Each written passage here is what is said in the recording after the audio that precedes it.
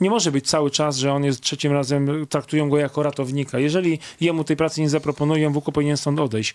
To jest moje e, zdanie. Nie jest gwarantem, żadnym gwarantem na obecną chwilę jest zatrudnienie trenera no, obcokrajowca, bo trzy ostatnie, mm, e, trzech ostatnich trenerów pokazało, że, że, że to jest niewypał.